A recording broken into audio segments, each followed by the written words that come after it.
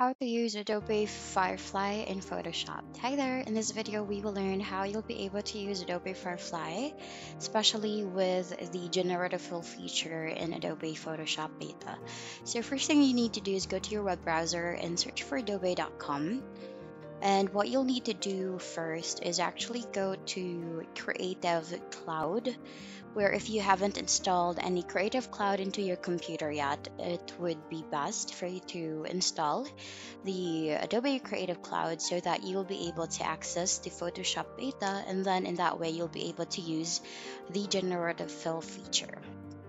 So here I switched to uh, adobe.com and this is currently the Adobe Creative Cloud.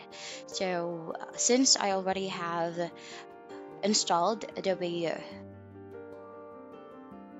Creative Cloud into my computer.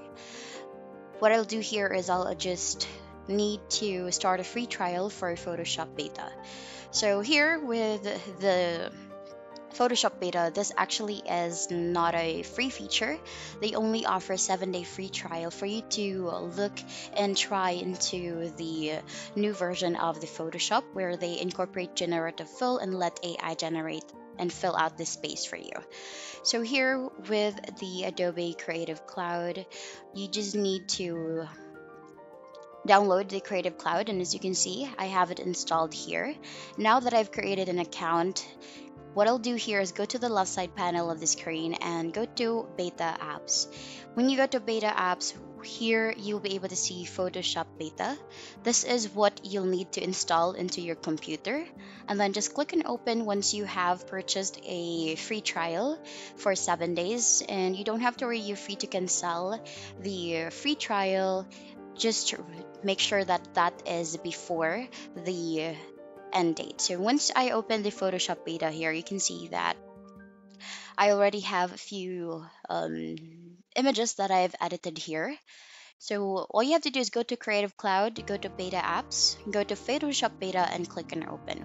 And this was, and this will be the appearance on how the Photoshop beta would look like. So you can see there's a logo. Instead of the uh, dark background, it would be white with the uh, blue text. So here let's just open an image for us to edit. Look for this. So you can either click a new file if you want a blank canvas or you can upload the image that you'd like to edit here with Photoshop. So once we have the image uploaded here into our Photoshop beta, what you can do is actually click on the lasso tool, the tool here, the one with that looks like a lasso right below the rectangle tool. Now that we have that the clothes or the shirt of the model here, we can enclose that and we will remove the or delete the image that is on the or that's within the selected area here on the image. So what we will do is on the left right side panel of the screen, make sure that you duplicate the image so that you will be able to erase and have a transparent image here on the selected area of the model that we have. So once you have enclosed the image, you just need to click on generative fill and then you will just need to type in the prompt here on this box provided. So for example, you want to change the shirt and then you can definitely modify that here. So you just need to click on generate and then wait for it to load. And here with Photoshop Beta, they will provide you three different variations of the image that you are looking for. So here, now that it's fully loaded, this is the first image that you have, and then you can just click on the arrow or browse into the image here on the right panel of the screen. And then you have the option either to use that image that they generate or just re regenerate another image if you don't like the image that they created for you. So here, let me type in the prompt. So here on the right side panel of the screen, you'll be able to see that there's a box right above the images. That's where you can edit the prompt if you want to change the words within the prompt that you have created.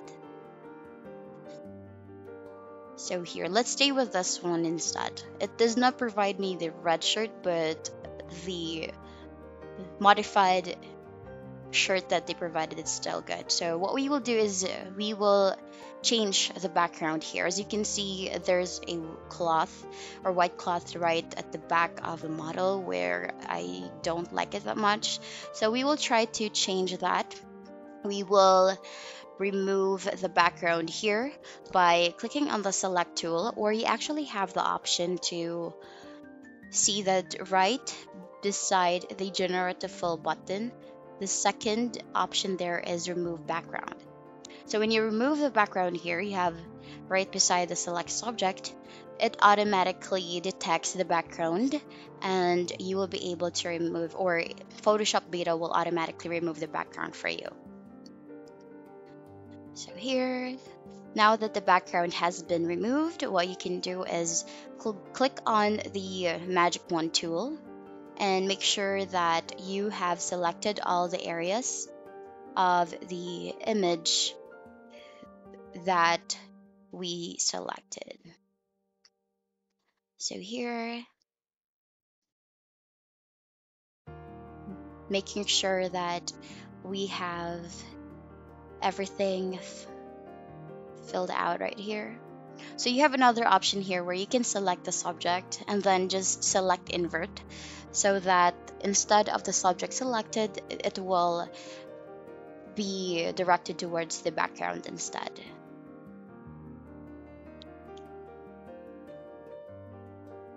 So here, I'm just making sure that I covered all the spaces. So here, look what I did. I just click on select subject, just right the beside the remove background option. Once the subject is selected, you will have the option to invert the selection and then click on generative fill. So here you can modify the background. For example I wanted beach. I can click on beach and then it will automatically generate the image. And it will definitely be very seamless where it looks like the original image was a beach you just wait for it to load and there you have it as you can see it looks like that the original image is this image that we've generated here. You have three options. You have this one and the third one right here. So I'd like to use the first image that was generated and let's compare that to the original image that we uploaded earlier. So let's just duplicate the original image here just for you to see the difference between the original and the image that we generated. So as you can see, this is the original image and this is the edited image using the generative fill feature here with Photoshop Beta. And as you can see, it's a very seamless image that we've created here. The background seems to blend with the model that we have and it really good um, looks natural here. So another option here is you can add a, for example, facial facial feature. You want to change or add a sunglasses. You can just select the lasso tool and then just enclose the eyes or the area where you want the sunglasses to be on. And then here, as you can see, the AI or Photoshop Beta automatically generates three different styles of the sunglasses here. And we just need to choose one right here. And you have an option as well to add a hat or if you want to change the hair, you can definitely do so. Just modify that here. So for example, we just I'll leave this as is. So once we have that image, you can just export the image. And as you can see, we have definitely created a different image right here. And that's the end of the video. That's how you'll be able to use Adobe Firefly in Photoshop. Thank you for watching. Bye!